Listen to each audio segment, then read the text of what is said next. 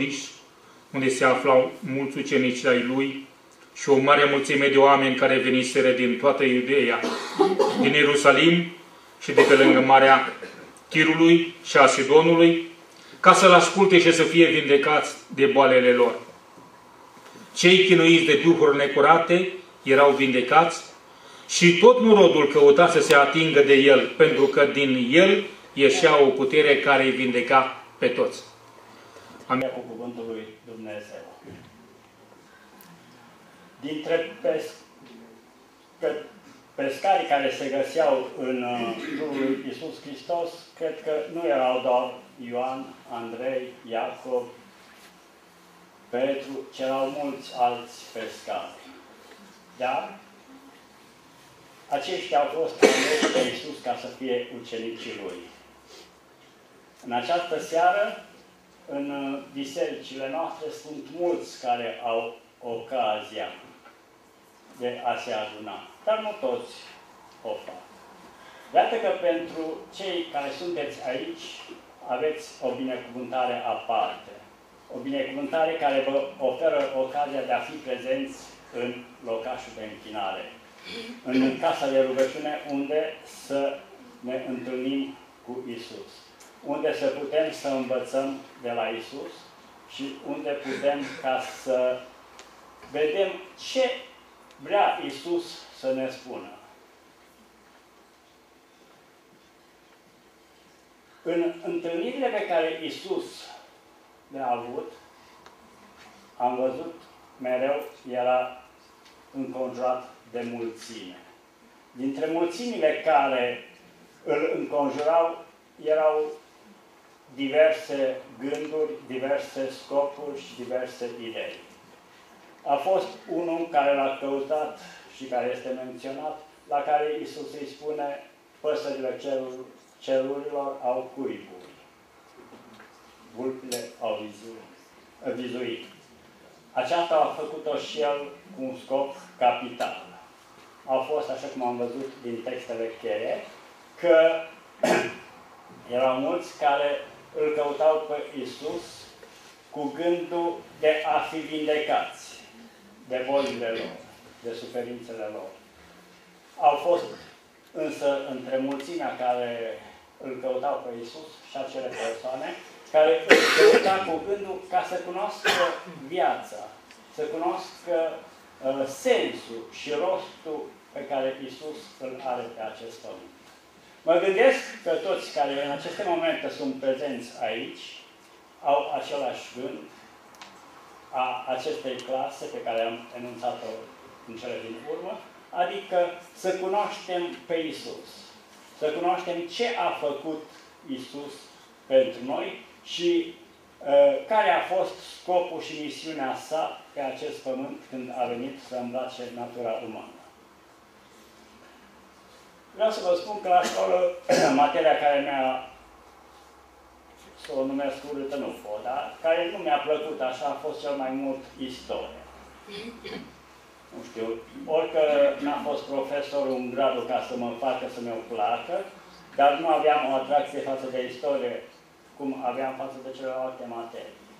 Dar totuși, din Cuvântul lui Dumnezeu, ceea ce îmi place mai mult și ceea ce parcă uh, își pune o amprentă mai mult în imaginația și în viața mea, sunt istorioarele. De aceea aș vrea ca și în această seară să încerc să prezint câteva istorioare uh, pe care sunt uh, scrise și le găsim pe paginile Sfintelor Scripturi. Prima istorioară, o istorioară destul de bine cunoscută, se găsește în Ioan, în capitolul 8, versetele 1 la 8. Dacă dorește careva dintre frați tineri sau mai puțin tineri să citească, cu glas tare m-aș bucura. Dacă nu, putem și să o spunem așa în cuvinte.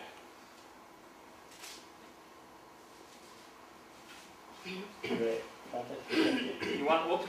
8, 1 la 8. 8, 1 la 8. Iisus a dus la muntele măslinilor. Dar dis de dimineață a venit din nou în templu și tot norodul a venit la el.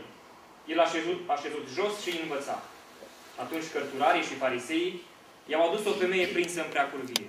Au pus-o în mijlocul norodului și au zis lui Isus: Învățătorule, femeia aceasta a fost prinsă chiar când se vârșea prea curvia. Moise, în lege, ne-a poruncit să ucidem cu pietre pe astfel de femei. Tu, dar ce zici? Spuneau lucrul acesta ca să-l ispitească și să-l poată înghini. Dar Isus a plecat în jos și scria cu degetul pe pământ. Fiindcă ei nu încetau să-l întrebe, el s-a ridicat în sus și le-a zis, Cine dintre voi este fără păcat, să arunce cel din tâi cu piatra în ea. Apoi s-a plecat iarăși și scria cu degetul pe pământ. Dacă am stat să discutăm despre această istorioară, poate că nu ne-ar fi suficient o jumătate de oră cât avem pentru a nu plictisi în această seară, ci ar fi ore în șir despre uh, această istorie acestei femei. Despre modul cum a fost prezentată, scopul pe care l-au avut cei care au prezentat-o în fața lui Isus și reacția pe care Isus o are atunci când este prezentată. Vedem că se apleacă și scrie pe nisip. Cred că știm toți ceea ce scria Isus pe nisip. Scria operele lor de dinainte, ceea ce ei au făcut. Și aceasta îi determină ca ei să uh, se depărteze de Isus. Dar ceea ce ne interesează mai mult este partea finală, care uh, este o discuție între Isus și această femeie. Isus o întreabă, zice, femeie, nimeni nu te-a lovit, că scopul lor era acela de a, a o lovi, a o ucide cu pietre. Nimeni nu te-a lovit, nimeni nu ți-a făcut niciun rău, zice, nimeni, Doamne. Și atunci zice, du-te, dar să nu mai păcătuiești. Și de fiecare dată când Isus uh, trimite persoanele acestea și le spune ca să nu mai păcătuiască, nu uită să le menționeze și faptul ca să nu ți se întâmple ceva mai rău. O altă uh, istorie asemănătoare, care cred că ar putea să fie ca și temă de casă, a o citit, este în uh, Marcu, în capitolul 2, versetele 1 la 5. Și se tratează despre uh, vindecarea unui, slăbă, unui slăbănot. La rândul lui și acestea, Iisus nu uită să-i aducă aminte ca să nu mai păcătuiască, să nu mai uh, continue să păcătuiască. Avem o, apoi o altă istorie pe care o găsim în uh, Marcu, în capitolul 5, versetele 24 la 34, când se tra tratează de acea femeie care avea scurgerea de sânge. Această femeie uh, nu era o femeie care, din punct de vedere economic, ar fi stat rău, după părerea mea. Fiindcă avea o boală care de 12 ani o chinuia. Și în toți aceștia 12 ani, ea a umblat pe la diferiți doctori și a cheltuit tot ce avea. Deci, faptul că a cheltuit tot ce avea înseamnă că ar fi avut ceva. Și ca să uh, poți să anunți acest lucru, că s-a cheltuit totul, înseamnă că a fost ceva destul de consistent. Femeia a cheltuit totul cu doctorii, cu toate uh, vindecările pe care a încercat să și le facă și la urmă nu a reușit să rezolve nimic. Din nou ajunge la Isus și Isus îi spune, du-te, dar să nu mai păcătuiești. Sau îi spune în alte cuvinte, credința ta te-a mântuit, fiindcă ea, în credința ei, dorea doar ca să atingă poala hainei lui Isus. Atât îi era dorința ei, gândul ei. Și știa că, făcând acest lucru, avea ocazia minunată de a fi vindecată. La fel cum și slăbănogul a încercat prin credința pe care o avea să facă în așa fel încât să ajungă să se întâlnească cu Isus. Și știa că dacă se va întâlni cu Isus, Isus nu va fi indiferent față de suferința lui. Știa că Isus poate ca să îi vedească ceea ce el uh, dorea de mult timp. Păi, în uh, versetele pe care le-am citit, am văzut că erau mulțimi mulțimi de oameni cu tot felul de probleme, cu uh, vedere, erau surdomuți, erau chiar oameni care erau stăpâniți de duhuri necurate. Și toți au avut această ocazie minunată de a fi vindecați. Și la toți li s-a spus, du-te, dar să nu mai păcătuiești. Acum, aș vrea să vă uh, amintesc alte două istorioare, dar acestea uh, nu din paginile Sfinte Scripturi, ci din istorie. Se tratează de doi mari pictori. Probabil că mulți ați auzit sau cunoașteți istoria acestor pictori. Unul dintre acești pictori, amândoi ca și uh, origine, sunt olandezi. Unul se cheamă Van Gogh. Probabil că uh, nu e chiar corect pronunția, dar uh, încât știu, așa se cheamă, Van Gogh. Acest uh, pictor, care are ca și lucrare în jur de 2000 de opere, a trăit doar 37 de ani. Dar, uh, încă din copilăria sa, avea o mare apreciere față de cuvântul lui Dumnezeu. Tatăl său era un pastor protestant și el, uh, în copilăria sa, îi plăcea să meargă la biserică, îi plăcea să citească din Scriptură și îi avea dorința ca să ajungă și el pastor la rândul lui ca și tatăl său. A avut ocazia să o facă, să ajungă uh, un misionar în Belgia, dar, din păcate, această acțiune a fost de scurtă durată. După un scurt timp, a renunțat la viața de misionar. Dar, din păcate, uh, el nu a renunțat doar la viața de misionar. A renunțat și la viața de creștin. Fiindcă el putea să trăiască uh, viața de creștin și dacă nu era misionar. Acel Dumnezeu pe care la început îl iubea atât de mult, acel Dumnezeu care vrea ca să îl, îi servească, acum încearcă să uite în mod total de el și să nu mai știe nimic despre Dumnezeu. A devenit un om cu o viață imorală și un om care, uh, să spunem așa, a făcut o schimbare total uh, greșită în viața sa. Și ultima operă pe care o face el, ultimul tablou, se intitulează Trei drumuri. Tabloul era așa, un lan de grâu, în care erau trei drumuri. Dar nici unul nu avea nici un început și nici un sfârșit dintre cele trei drumuri.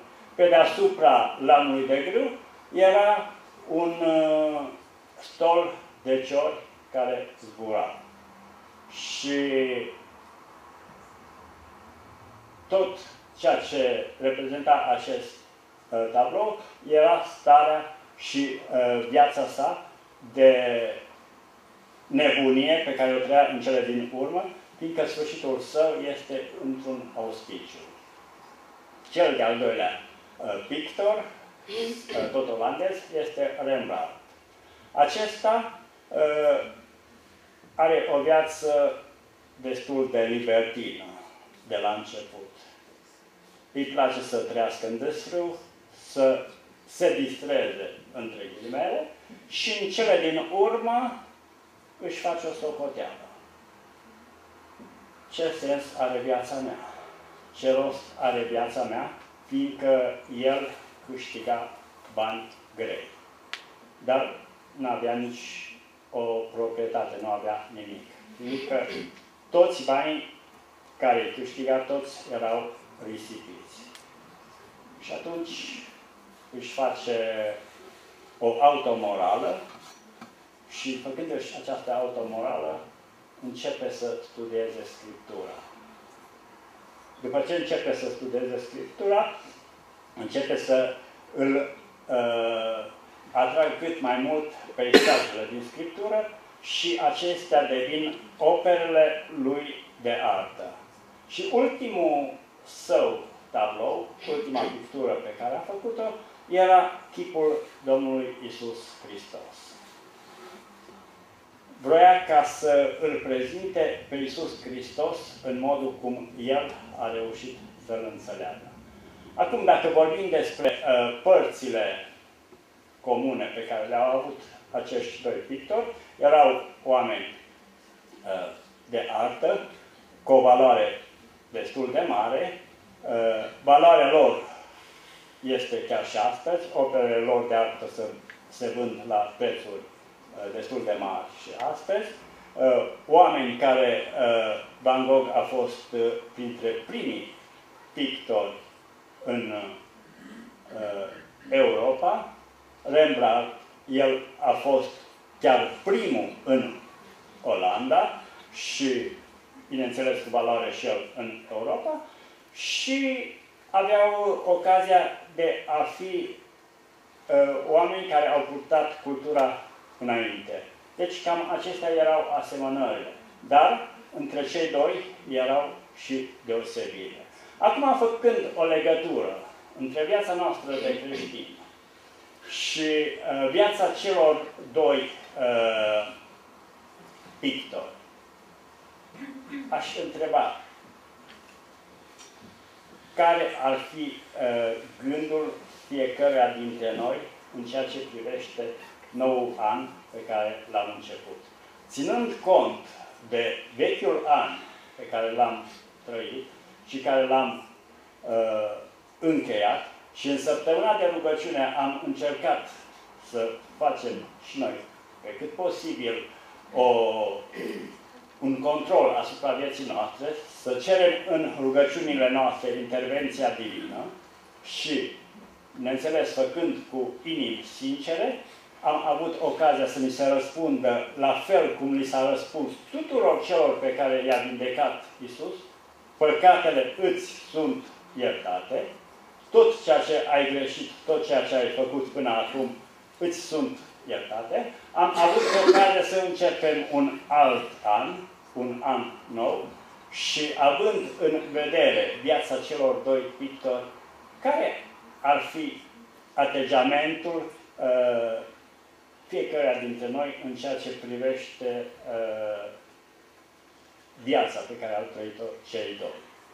Cum ar uh, dori fiecare să se raporteze viața lui la viața uh, celor doi pictori. Există vreo idee? Ați putea ca să îmi spuneți o idee cam cum ați vrea să vă raportați la viața celor doi pictori? Nu știu gândurile noastre care sunt și cum sunt, dar eu aș vrea ca viața mea, cât și al tuturor care sunt prezenți, să fie cam în felul acesta, în ceea ce privește anul în care am intrat. Să avem un început asemenea lui Van Gogh, deci cu studiu, cu uh, dorințe de a cunoaște pe Dumnezeu, cu gândul de a sta cât mai aproape de Dumnezeu și de a fi misionar. Cam acestea erau gândurile cu care a început el. Și să o terminăm viața noastră așa cum a terminat-o cel de-al doilea pictor. Și când, la sfârșit de an, dacă vom începe uh, cu gânduri bune, să putem să avem imaginea Domnului Isus Hristos în mințile noastre și mai mult să avem ocazia ca imaginea Domnului Isus Hristos să fie în viețile noastre. Și atunci, dacă se va întâmpla acest lucru, atunci uh, vom avea ocazia ca să spunem că da, acest an pentru noi a fost un an fertil, un an care ne-a adus succese. Ceea ce aș vrea ca să vă urez din nou acum, ar fi uh, lucrurile unui uh, profesor care vrea ca să-și dea o lecție elevilor, lor, uh, elevilor lui. Și acesta ce face? Se prezintă în fața elevilor și le spune am uh, o temă de discutat cu voi. Se tratează despre 30 de întrebări, 40 de întrebări sau 50 de întrebări. Voi care le alegeți? Întreabă elevii. Unii dintre elevi au ales 30, alții 40 și alții 50. După ce s-a făcut alegerile, întrebărilor, profesorul dă notele. Celor cu 30 de întrebări, chiar dacă au răspuns la toate bine, zice 8. Celor cu 40 de întrebări, dacă au răspuns aproximativ bine cu unele greșeli, le dă 9. Celor cu 50 de întrebări, chiar dacă majoritatea întrebărilor cu uh, răspuns greșit, le dă 10. Nedumerirea între elevi, de ce s-a întâmplat așa? Și atunci profesorul le spune. De această dată am uh, punctat pe interesul vostru și voința voastră de a, vă, de a vă ridica mai sus. Nu am punctat, nu am uh, dat notă pe ceea ce ați știut, ceea ce cunoașteți, ci am dat notă pe ceea ce voi tindeți, pe ceea ce voi uh, vreți ca să ajungeți mai sus. Cred că și în această seară ar fi bine ca să se dea un, o notă maximă tuturor celor care au găsit de cuvință să fie prezenți aici. Dacă au fost mai atenți sau mai puțin atenți, asta nu mai votăm, nu mai dăm notă de data aceasta. Dar prin faptul că ați fost prezenți în această seară, toți aveți nota 10 și toți sunteți bineveniți și doresc ca Dumnezeu să vă binecuvânteze uh, prezența și să vă dea ocazia de a fi mereu prezenți și alături de El. El să fie binecuvântat pentru toate. Amin. Amin. Amin. Mulțumim Domnului pentru învățăturile minunate și sfinte și să rugăm pe Domnul să ne ajute ca fiecare de noi să luăm aminte la ceea ce noi studiem și să călcăm pe urma pașilor maestrului nostru, care afișat.